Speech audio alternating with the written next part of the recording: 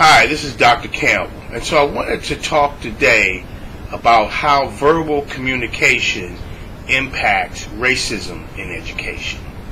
And one of the challenges that I've found is that, you know, teachers, they could be at the forefront of eliminating racism in this country.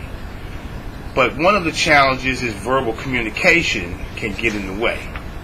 Verbal communication, white Americans unfamiliarity with black communication style results in misunderstandings in the classroom. The majority of the culture in the schools arises because of differences in communication and interaction styles. Lower class in the blacks, who are the blacks as well as Hispanics in the United States, do not communicate the same way that other Americans do. And this creates an enormous problem, and it especially shows up in the classroom. And so, if we're looking to eliminate racism across this country, one of the things that we have to address is that is those verbal communication differences. You can read about the entire article on my blog at www.positiveracialrelationships.com.